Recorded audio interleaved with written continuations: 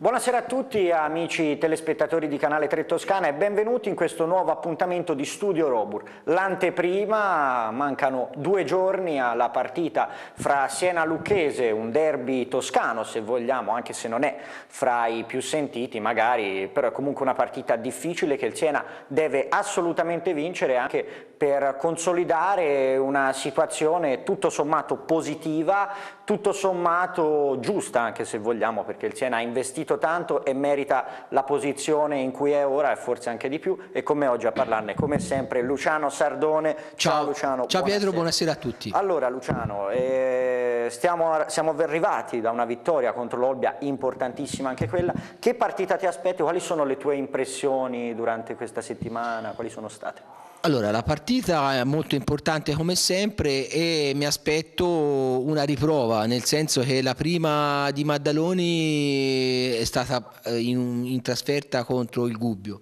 Poi abbiamo avuto due partite casalinghe un po' controverse perché la prima contro il Modena, l'altra contro l'Olbia e tutte e due tra luce ed ombre mentre eh, paradossalmente forse quella più convincente è stata la gara eh, in trasferta a Gubbio. La prima, la prima che comunque non era un campo facile perché Gubbio squadra imbattuta con numeri pressoché simili a quelli della Robur.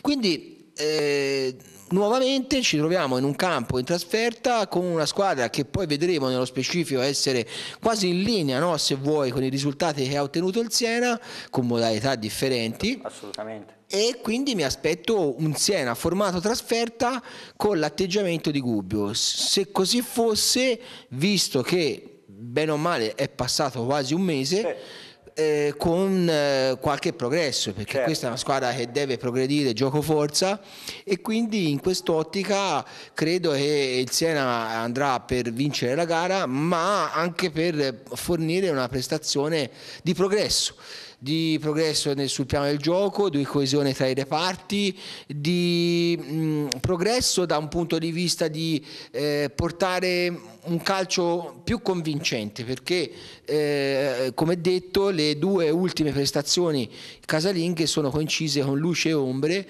e quindi mh, probabilmente eh, quello che ci deve far sorridere di più allo stato attuale è comunque il fatto che questa squadra riesca a muovere la classifica però tutto sommato pur vedendo dei cambiamenti strutturali sul gioco non abbiamo proprio visto il là in, certo, eh, sì, al 100%, sì, sia, non è che ci siamo poi di, dimostrati essere ancora una squadra eh, come dire fornisce un calcio spettacolare. No però diciamo che siamo sulla buona strada per eh, trovare una quadratura, questo sì. Certo, questo è importantissimo. Maddaloni sta lavorando molto sul gioco, lo, sta, lo ha detto più volte, non vuole vedere lanci, vuole completamente eliminare i lanci che vedevamo fare con Gilardino, e, però io credo che debba lavorare anche eh, dal punto di vista mentale, perché una squadra che va in vantaggio contro l'Olbia 2 a 0 e poi si fa rimontare di due gol, poi sono riusciti comunque a rimetterla in piedi, insomma lì c'è stato quei 10-15 minuti in cui il Siena aveva completamente staccato la testa. Pensi che Maddaloni dovrà lavorare principalmente sotto questo aspetto? Sì, allora la, sulla testa sempre e comunque, però per esempio nello specifico visto che parlavi di Olga, io non lo so, ho visto che il primo gol l'abbiamo beccato su una palla inattiva, su uno schema molto simile a quello che era stato provato nel primo tempo su, proprio dall'Olbia e aveva creato un'occasione calciando sul primo palo e lì ci hanno fatto gol, quindi non lo so, magari lì c'è stata più una distrazione oppure bravi loro a creare questa palla inattiva sul primo palo.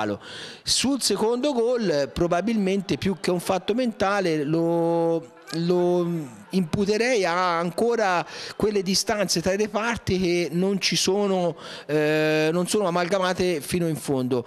Mm, per chi ci ha seguito sin dalle prime trasmissioni, io ho sempre detto, nella nostra esperienza di, di, di, di quelli che vedono le partite, che la differenza fra le categorie maggiori e la Serie C sta nell'intensità, che significa dal primo all'ultimo minuto correre, stare coesi fra i reparti e non avere distrazioni. Certo. A livello di Serie C l'intensità non può esserci per 90 minuti e in questo caso vedi questo break del figlio di Chierico sì. che palla al piede, dà una palla dentro e probabilmente il nostro portiere Lani forse con una frazione di secondo esce intempestivamente. Okay. Quindi sono quelle situazioni che eh, si possono verificare nell'ambito di 90 minuti quando la squadra non può essere intensa 90 minuti.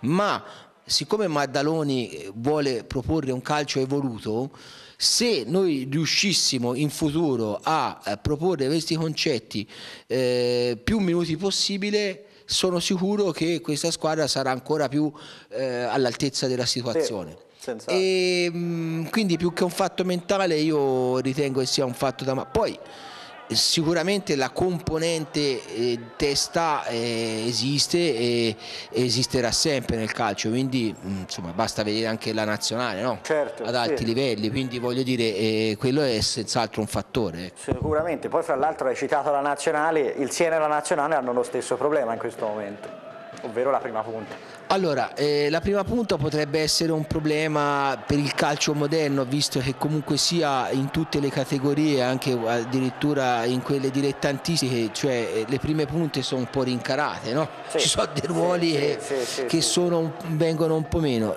di fatto il Siena la prima punta ce l'ha in questo momento sarebbe Carlson e qui torno a Gubbio perché a Gubbio Carlson è stato schierato titolare, esatto. titolare ed ha creato una logica di squadra perché andava a occupare uno spazio che era funzionale agli inserimenti delle mezze ali alle due punte esterne giocando con un 4-3-3 quindi eh, direi che probabilmente Gubbio la squadra a me è parsa più convincente perché partiva da un presupposto che era quello di una punta di peso che comunque in un organico ci deve sempre essere.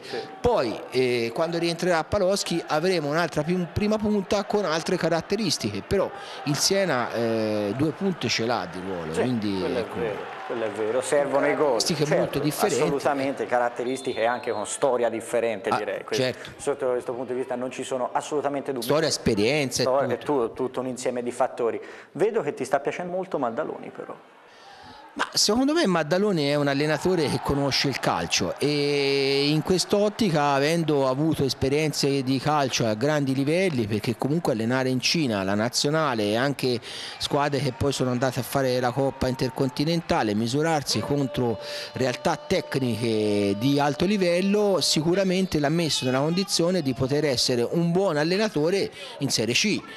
Se la Serie C è un laboratorio per ehm, tanti giocatori perché non deve esserlo per, per, per, per gli allenatori, allenatori. Certo, sì, ecco, sì. quindi io penso che Maddaloni eh, ha il vantaggio di avere l'esperienza eh, di, di un allenatore che gestisce un gruppo ma con diciamo, la, la, la, la, conoscenza, cioè è, è, è, differente da un Gilardino ad esempio che da un passato di grande calciatore si deve formare come allenatore attraverso delle esperienze che sono legittime perché per esempio anche Michele Mignani eh, probabilmente eh, ha, ha avuto a Siena uh, da fare delle esperienze, anzi certo. senza probabilmente, e con le esperienze che ha maturato ad esempio nella piazza di Siena e le conoscenze con lo step di, di Modena a Bari potrà far bene. Sicuramente, Quindi, sta facendo bene. Sta facendo bene. Maddaloni è uno che eh, porta direttamente delle conoscenze e questa è un po' un'anomalia, però è anche un qualcosa, devo ribadirlo, molto eh, moderno nel calcio, perché comunque sia, ad esempio noi abbiamo affrontato l'Olbia che è allenata da Max Canzi che è stato il secondo e il vice allenatore di Beretta ad altissimi livelli è andato in Serie C si è preso una squadra ma l'Olbia la fa giocare sì. tranquillamente. Quindi ah. voglio dire eh, domenica abbiamo sa, domenica sì sa, domenica, domenica, domenica, abbiamo visto due vice allenatori che si sono sfidati in Serie C il vice di Lippi e il vice di Beretta. Certo. e ha vinto il vice di Lippi. Sì, quindi niente di strano no assolutamente una cosa nel calcio frequentissima e la classifica sta dando ragione comunque alle scelte della società, anche se non è cambiata tantissimo. Però c'è stato una sorta di accocio in classifica, infatti vediamola un attimo, la leggiamo. Abbiamo la Reggiana prima a 32 punti, poi il Modena secondo a 30 punti che ha rimontato tantissimo, ha recuperato due veramente tanto, sei partite consecutive, eh, Cesena 29, Siena 23, Virtus Entella 22, altra grande rimonta, poi il Pescara a 21, Ancona Matelica 21, Gubbio e Molese a 19, Vispesaro 18, poi spostandoci sulla fascia destra della classifica che abbiamo la Lucchese a 18 punti, Pontedera 18, Olbia 16, Montevarchi 16, Carrarese 16, Teramo e Fermana a 15, Pistoiese 13, Grosseto 10, Viterbese 7 che ancora la sua unica vittoria è stata quella contro il Siena.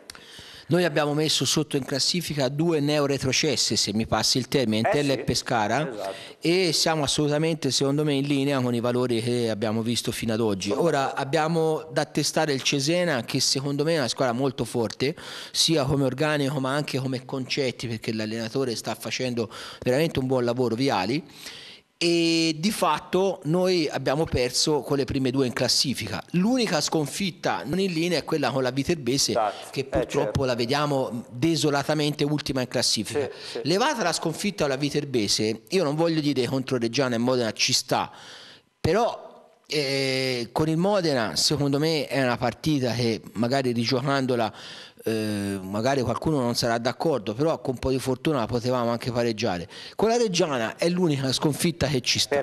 Ci sta, hai perso meritamente. Gli altri, compresi anche i mezzi passi falsi, se vuoi, contro eh, la Pistoiese e contro eh, la Fermana, sono eh, incidenti di percorso che possono esserci all'interno di un campionato. Per esempio il Pescara ha pareggiato tante partite in casa al 95esimo e anche con eh, voglio dire, il Teramo proprio sabato scorso, ma eh, il Modena al di là di questo eh, esploit incredibile di aver fatto queste sette vittorie consecutive, anzi sei mi sembra, sei vittorie, sei, sei, sei vittorie aveva perso anche delle partite sorprendentemente. Esatto, soprattutto all'inizio, all'inizio molto Quindi l'unica squadra che non ha pagato dazio è la Reggiana e il Cesena. Siena, poi le altre sono tutte in linea al campionato che sta facendo il Siena, con tutte le, le, premesse che abbiamo sempre fatto. Siamo una squadra che è stata ripescata a due anime, l'anima di Serie D e l'anima dei professionisti, cioè di quelli che sono arrivati forti dopo eh, è partita un allenatore eh, che era stato confermato per la D,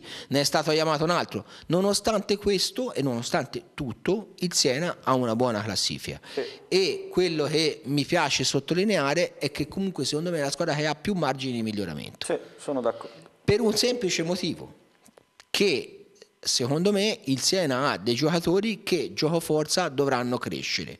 E sono soprattutto i giovani soprattutto. mi riferisco a Pezzella che secondo certo. me è un giocatore che è sicuramente in forte crescita e lo sarà sempre più ma anche Cardoselli che è un classe 98 che è un centrocampista che è dotato di inserimento e grande fisico è un giocatore che sicuramente andrà a migliorare. Quindi diciamo che i miglioramenti della nostra squadra dipenderanno dai miglioramenti che questi ragazzi riusciranno a fare. Certo. Voglio dire, Modena e Reggiana sono due squadre fatte, no? Sì, sì, sono due squadre costruite ne, nei loro... da tempo, esatto. hanno avuto il modo di organizzarsi. E stanno esprimendo il massimo probabilmente di quello che sono, no? anche se il Modena lamenta tante assenze, quindi in prospettiva anche il Modena è una squadra veramente molto interessante. Può ancora migliorare Può ancora migliorare. Okay. Ma il Siena è una squadra che dal mio punto di vista ha dei margini eh, esponenziali di miglioramento sia sul piano del gioco sia sul piano della crescita personale dei giocatori. Sì, sono d'accordo, che poi fra l'altro è quello che ci siamo detti anche stamani quando ci siamo trovati per caso in sì. città e quindi sì, insomma sono sensazioni che tutte le persone hanno anche in città, quando ci si ferma molto spesso, tutti dicono più o meno il Siena merita questa classifica ed ha margini di miglioramento. E, mh, mm, su tutti, eh, tu dicevi Pezzella, ma anche lo stesso Carson era partito in una maniera totalmente diversa rispetto a come sta andando ora. Carson secondo me è un giocatore che fa dei movimenti giusti da prima punta.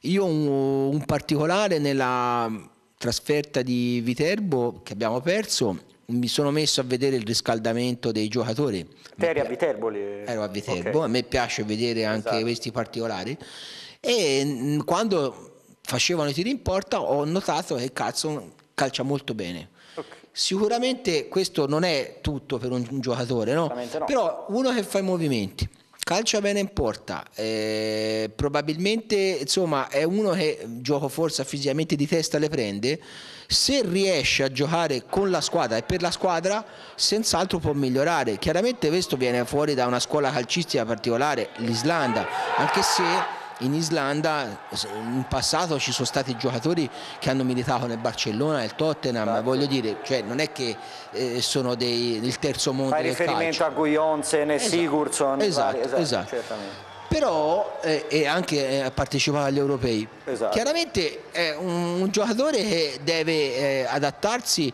a, a, delle latitudini calcistiche tutte nuove.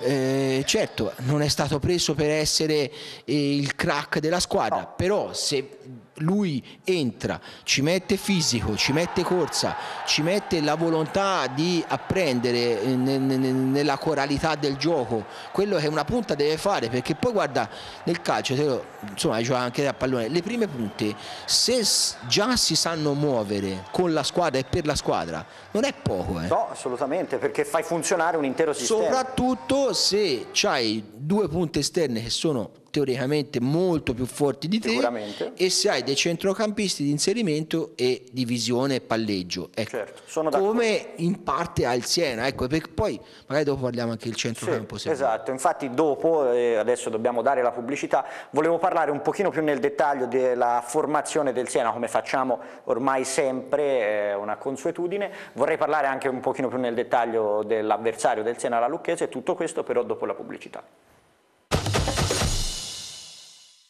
Di nuovo in diretta amici telespettatori e con Luciano ci eravamo lasciati parlando un pochino della situazione in attacco e, e, ora volevamo parlare un pochino più nel dettaglio come sempre la nostra top 11 probabile della giornata, dovevamo parlare del centrocampo, la difesa, insomma ci sono parecchi nodi da slegare il portiere ovviamente Lanni. Partendo dalla difesa, che difesa ti aspetti? Sempre una difesa a 4? Sì, una difesa a 4 assolutamente e comunque sia a me non dispiace Marcellusi. Eh, Marcellusi che nelle ultime giornate sta facendo vedere veramente delle ottime cose. Ad esempio a Gubbio partì titolare non fece male perché è un giocatore che ha delle iniziative e soprattutto dalla fascia si prende anche un po' la corsia centrale del campo per andare a occupare degli spazi. Tempo fa noi parlavamo del fatto che nel calcio moderno esistono delle nuove concezioni, che so quelle lì di occupare gli spazi, sì. più di come schierarsi, no?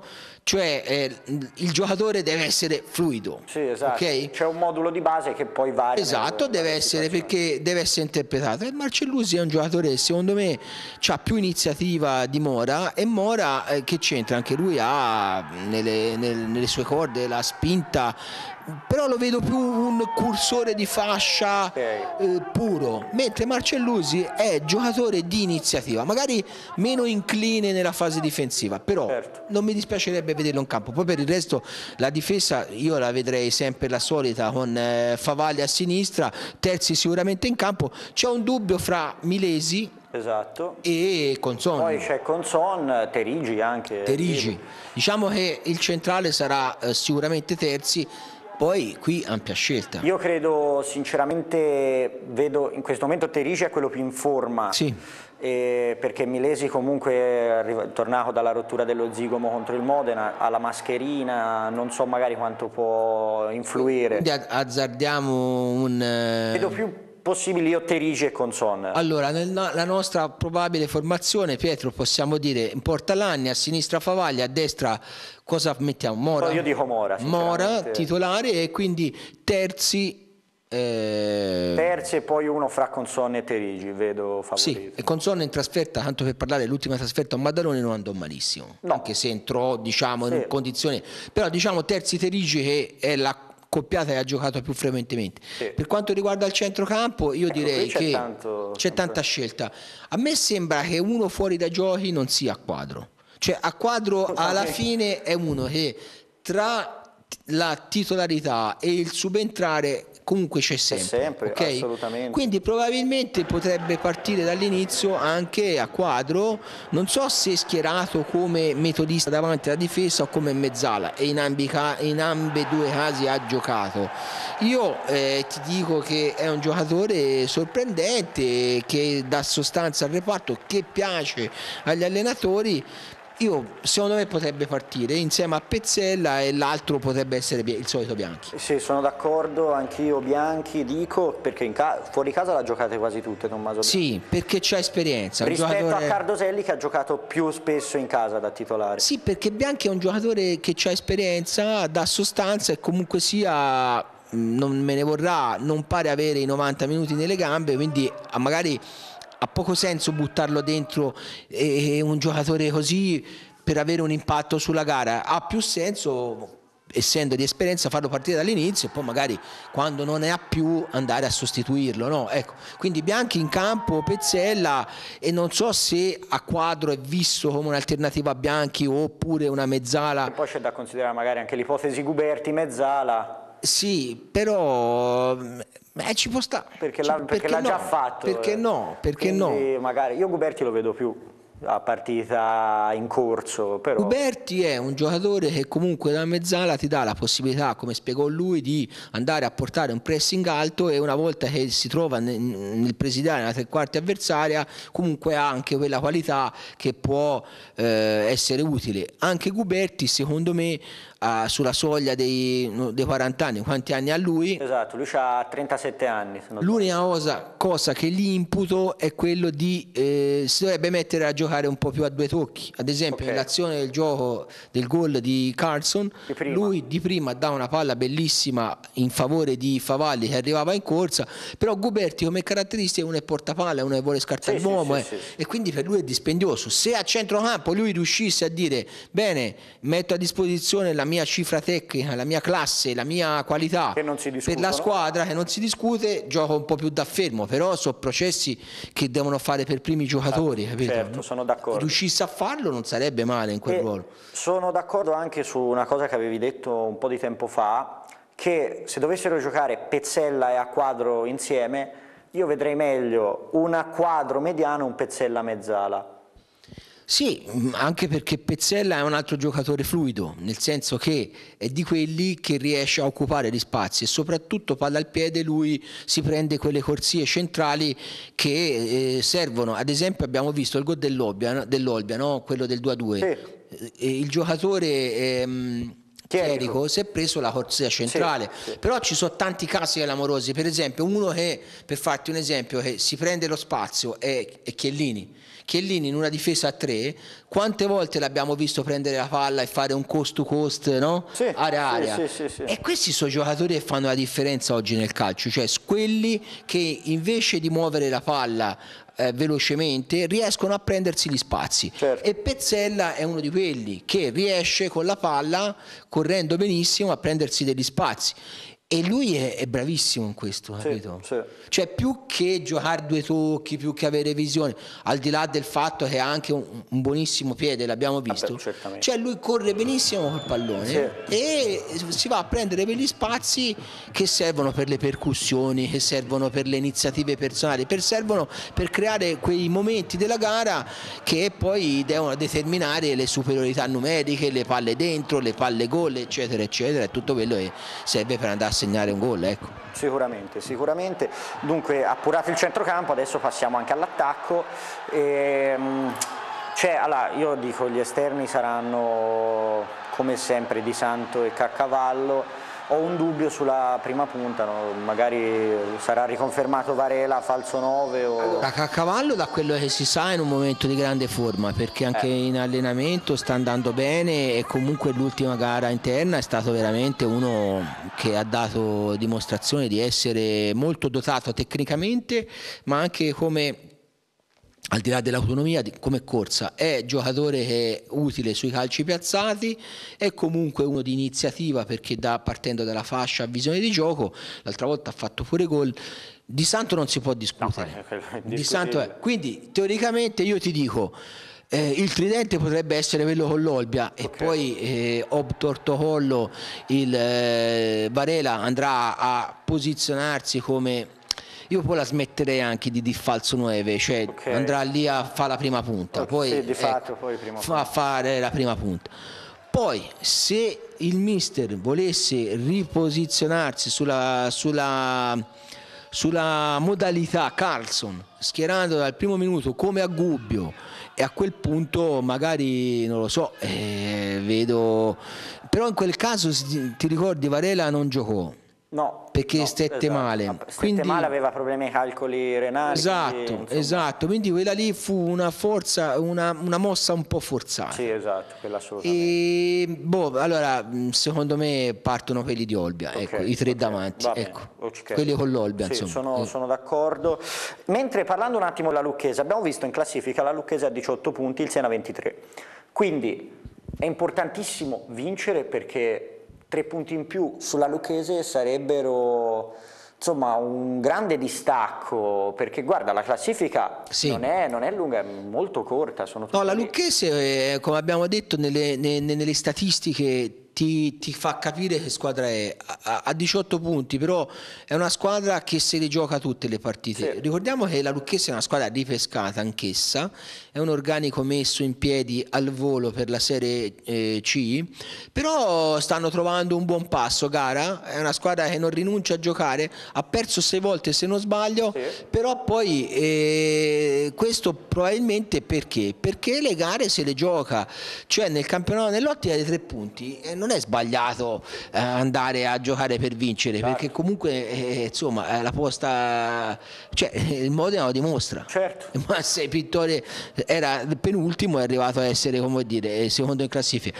Però per chi ha seguito la nostra trasmissione di Stefano Osti disse una cosa molto giusta, probabilmente si disdegna nel campionato dei tre punti il valore del pareggio, voglio dire se noi avessimo pareggiato a Livorno eh, due anni fa probabilmente, cioè no probabilmente, eravamo in Serie B diretti, no? E invece quella partita la perdemmo 1-0, ma allora voglio dire, nel, nell'ambito di un campionato il valore di prendersi un punto, punto è, è tantissimo. Preziosissimo e la Lucchese pare essere una squadra che se la gioca a manetta, sì, quindi... Sì, sì. Che poi è la mentalità del suo allenatore di fatto. Sì, sì, sì, sì, ma a me, a me non dispiace perché come, come dissi una, in un'altra occasione, io il Siena mm, vado sempre a vederlo con l'ottica della squadra che vincerà sempre, ma questo anche quando eravamo in Serie A. Io tutte le volte entravo allo stadio dicevo, oggi il Siena vince esatto. anche contro il Milan o la Juve. Abbiamo tutte le volte, almeno i miei ricordi, anche se ero bambino, insomma, in Serie A erano che il Siena metteva in difficoltà forse di più le squadre che erano in cima rispetto Ma a... Ma questo perché, per banalmente dire cosa Pietro, che qual è la squadra che non va in campo pensando a vincere? Nessuno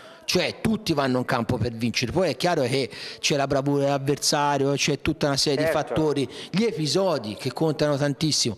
Chiaro che eh, noi eh, andiamo a incontrare una squadra che ha questa mentalità, che comunque gioca in casa e che comunque sia ha voglia di dimostrare che sta facendo secondo me un buon campionato, perché la Lucchese è una squadra che mh, va affrontata e va battuta. Esatto, assolutamente. E quindi non è, cioè, che sembra una cosa banale, ma non è poi così, perché poi, poi, poi c'è, c'è, anche la tradizione, perché contro la Lucchese, insomma, eh, al Porta Elisa ci sono sempre stati dei derby molto infuocati, specialmente agli inizi degli anni Ottanta, mi ricordo quando ero ragazzetto, insomma, le partite contro la Lucchese invece erano molto sentite. Sì, sì, molto sentiti, molto sentite e ci sono state anche de, de, delle partite anche spettacolari, eh, insomma, fra tutti mi ricordo un gol di Stringara su punizione che entrò da panchina solo per calciare quella punizione era tipo il 98esimo e la infilò all'incrocio era tipo Fusini forse nella Lucchese. Ora questo non ricordo ah, okay. però poi insomma mi, mi ricordo anche l'anno della promozione di Sala una bella trasferta a Lucca un grande seguito. Poi ci furono cioè, con la Lucchese sono sempre Quindi state storico importante. sempre state delle partite molto importanti sentite anche da ambo le parti ecco. Okay. poi chiaramente la storia delle due squadre è stata profondamente diversa posto poi che la Lucchese prima di noi ha avuto un percorso in Serie B importante negli anni 90. Ecco. Certo, certo. Lucchese, che come il Siena è una squadra che si è costruita proprio all'ultimo, da tenere d'occhio i due attaccanti Semprini e Fedato. Soprattutto che, quest'ultimo. Esatto, soprattutto Fedato che è molto pericoloso e insomma la difesa del Siena è una difesa solida ma nell'uno contro uno delle volte è andata in difficoltà, soprattutto quando si parla di progressione in velocità. Sì, mm, sicuramente, certamente loro vorranno affidarsi alle loro armi e come detto la squadra che non sarà sparagnina, io mi aspetto e cercherà di... E questo però da una parte ehm, a me non dispiace, cioè se andiamo a affrontare una squadra che vuole fare la gara Mm, tanto meglio. Per quanto riguarda la difficoltà che noi abbiamo nel difendere, sì, è chiaro che eh, gli altri ci, ci, studiano e studiano anche le caratteristiche dei nostri difensori, quindi eh, la partita ormai è preparata scientificamente vorrei dire da tutti e anche a questo livello i nostri difensori magari possono essere colti eh, là dove hanno le loro difficoltà. Quindi eh, attenzione e attenzione questa è una squadra che gioca con due punti un trequartista normalmente si schierano così poi eh, staremo a vedere, ecco come detto, una squadra che non disdegna l'attacco, una squadra che vuole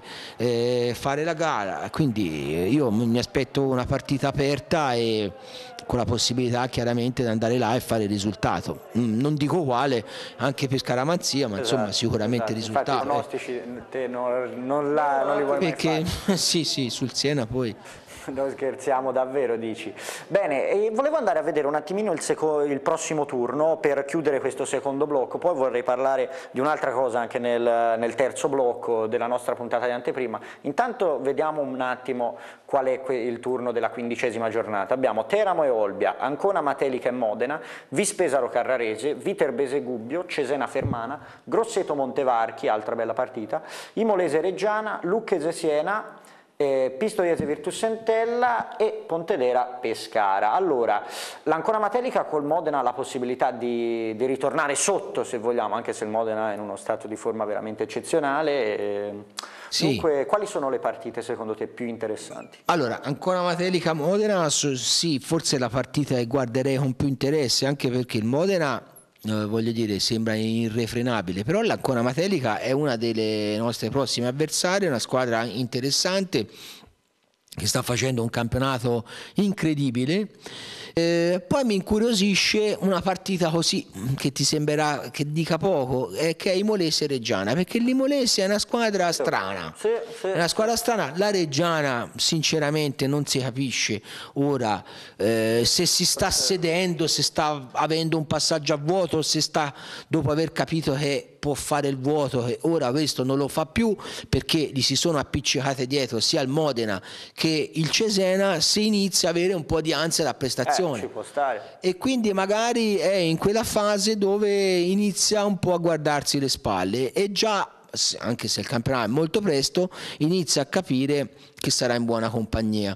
E quindi Imolese Reggiana è un'altra partita che vorrei vedere un po' per capire più lo stato d'animo della Reggiana che altro. Okay. E poi le altre, non so, eh, tutte sono. Bisognerà vedere il Pescara, anche il Pescara, insomma, una squadra un po' enigmatica. Sì. Cosa farà sul campo sintetico del Pontedera, che in casa comunque è sempre pericolosa. Certo. È un turno interlocutorio dove sicuramente la partita più interessante è, è quella della, dell'Ancona Materica contro, contro il Modena. Sì.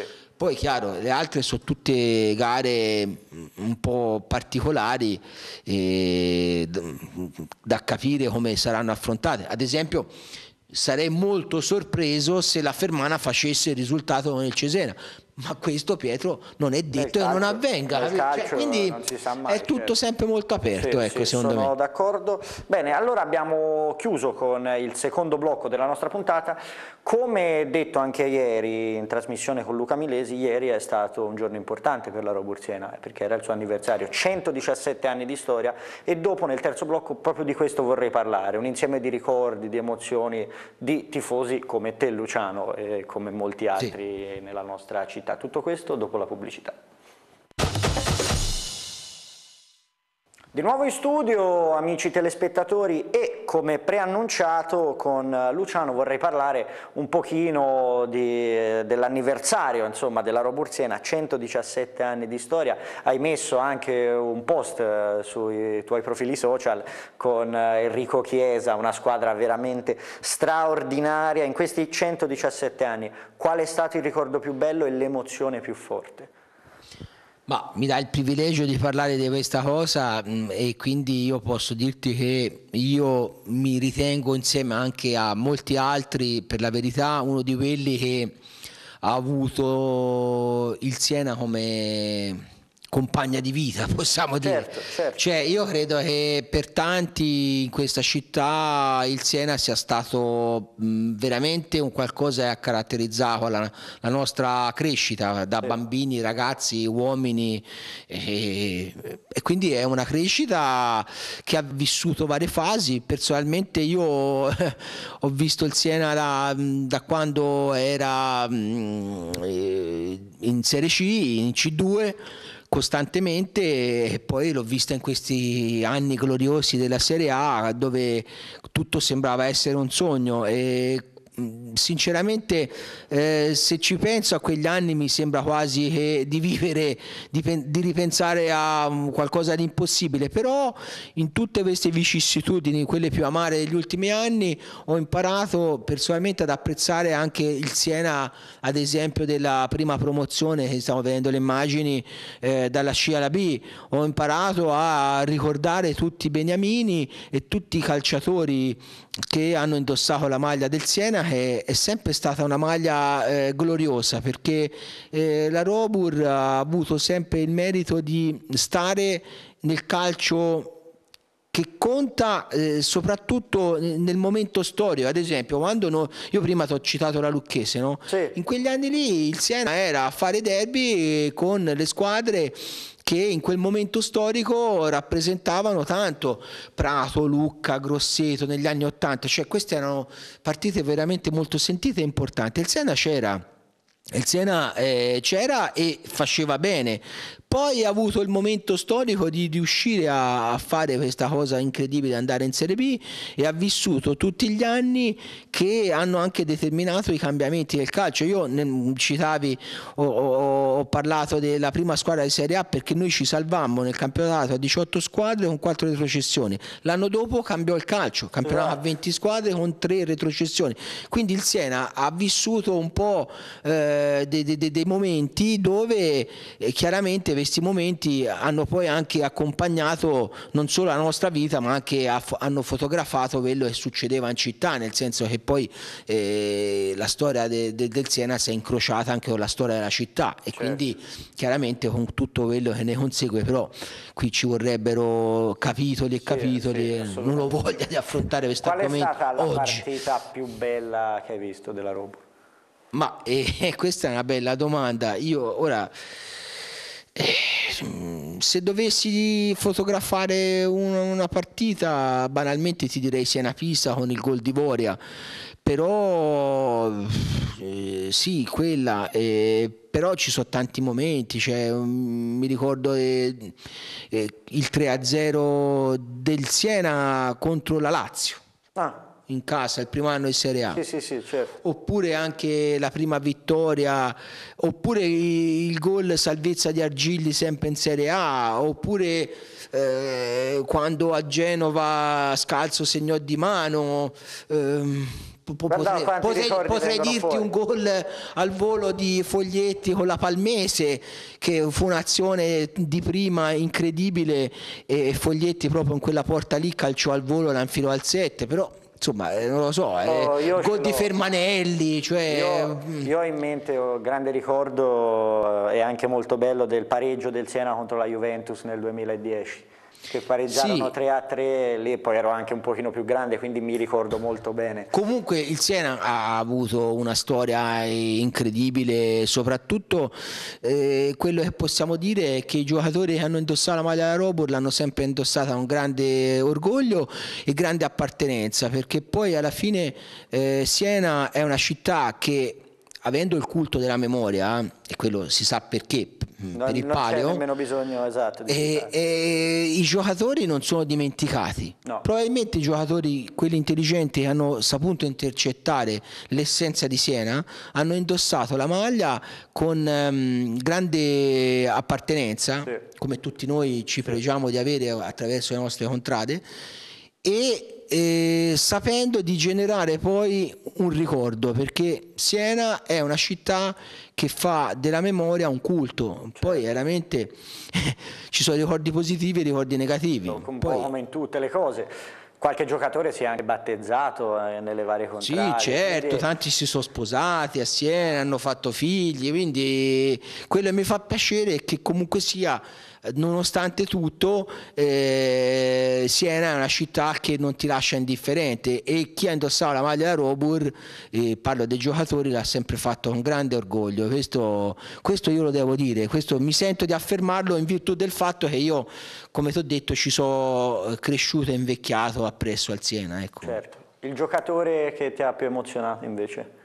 Ma mi, mi dà un onore, eh? stasera, guarda, veramente. Vabbè, eh, vuoi che parli dei miei idoli? Parla dei tuoi idoli. Vabbè, allora, io ero affascinato tantissimo a Guglielmo Coppola da piccino, e poi vabbè, Santino Nuccio, però poi per passare a Fermanelli, poi siamo andati, vabbè, un giocatore secondo me che mh, se fosse rimasto a Siena sarebbe stato secondo me idolo incontrastato, sarebbe stato Pinga. Pinga, cioè, esatto, cioè, secondo me Pinga era il classico giocatore che faceva bene ne, nell'unica piazza calcistica, cioè ha fatto solo bene a Siena. Sì, esatto. E se fosse stato confermato in Serie A avrebbe fatto benissimo anche in Serie A. Quindi sì. io Pinga l'ho amato poi tantissimo. il problema dell'incidente. Esatto. E poi vabbè, giocatori emble emblematici come Michele Mignani che poi ho avuto eh, l'onore e il piacere di conoscere e posso senz'altro affermare che sia un mio grande amico e spero viceversa. E poi anche Luca Cavallo secondo me è stato un giocatore molto rappresentativo eh, ma molti altri ecco. l'elenco sarebbe lungo vorrei dirti cioè Vergassola persona seria eh, giocatore commovente eh, ce ne sarebbero tanti, ecco, sinceramente, mi scuseranno quelli che sono rimasti esatto, fuori, però esatto. ecco, eh, veramente trovo l'elenco infinito, po- lungo, poterti dire anche Tore Andre Flo, eh, giocatore eh, che prima di arrivare a Siena eh, aveva più di 100 presenze nel Chelsea, aveva vinto eh, le coppe europee, esatto. ma anche Vergassola stesso, come ti ho detto, era stato prima di venire a Siena capitano della Sampdoria e del Torino. Insomma, tanti tanti giocatori veramente ecco. sì, sì, veramente un'infinità esatto. Anch'io posso permettermi di citare qualche nome che mi ha accompagnato nella gioventù. Eh, io non ho vissuto gli anni della Serie B gli anni della Serie C quelli più vecchi. Ho vissuto gli anni della Serie A. Sono cresciuto eh, te, te sei un millennial. Sono nato che il Siena era in Serie A e devo dire che Enrico Chiesa e poi quello che mi ha aperto più di tutti il cuore è stato sicuramente Emanuele Calaiò che ringrazio pubblicamente anche per avermi firmato la maglia, per averlo conosciuto. Questa sta diventando una, una Beh, puntata autocelebrativa. È una, eh, puntata, è una puntata, certo, celebrativa perché no, comunque no, autocelebrativa no, perché il Siena... Ma raccontando le nostre esperienze esatto. raccontiamo come il legame è forte, no? Sì, esatto, esatto. E insomma queste cose penso che possono confermarle anche tante persone che ci stanno guardando e che magari sono tifosi del Siena o magari anche qualcuno che non tifa Siena ma in qualche modo ha visto il Siena, è cresciuto con il Siena, anche se non tifava e non guardava le partite, non so se sei d'accordo. Sì, ma guarda, poi anche vedere cosa ha rappresentato quest'anno per la città e la Robur, no? e il fatto che il Siena sia stato ripescato e comunque sia, eh, stia facendo un campionato di vertice in Serie C è visto come un fattore positivo.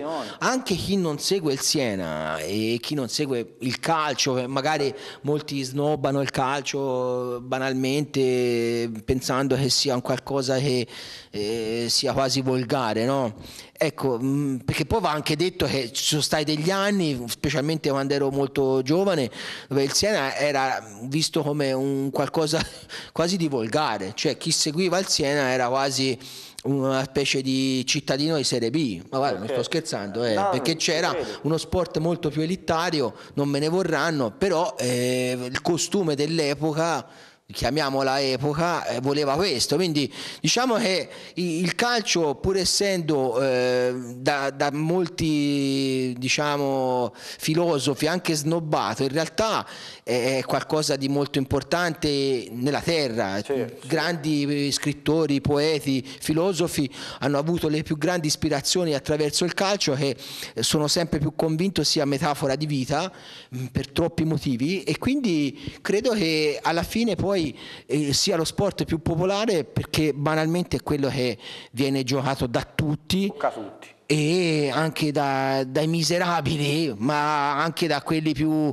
eh, ricchi, tra quelli più potenti, cioè è un qualcosa che mette al solito livello tutto. Bravo, sono d'accordo. e quindi questo succede anche a Siena, secondo me. Ecco. Senz'altro, perché sempre di calcio si parla. Bene Luciano, io direi che per stasera è veramente tutto, dopo aver fatto questa bellissima, quanto doverosa parentesi per fare anche gli auguri a questa società, a questa squadra che compie 117 anni, una storia veramente infinita e chissà quante cose ci siamo dimenticati sicuramente. Io ti ringrazio come sempre. Ma io ringrazio te, anzi mi hai dato anche un onore bellissimo quello di parlare de, de, de, del compleanno del Siena e che senz'altro fa parte delle nostre vite, ma veramente in maniera sì, sì, piena. Ecco. Assolutamente, assolutamente. Ritornando al presente, ovviamente Studio Robur dà appuntamento a domenica per il post partita di Lucchese Siena, ovviamente ci auguriamo tutti una vittoria, tre punti possibilmente e quindi diamo appuntamento allora a domenica, come sempre Forza Siena e poi ovviamente il lunedì c'è come sempre il salotto di Studio Robur di Luca Virgili e Luciano Sardone e Luca Virgili che salutiamo e direi allora di fare un grande in bocca al lupo alla squadra e diamo appuntamento a domenica. Per oggi è tutto, buona serata a tutti e buonasera. Grazie, buonasera.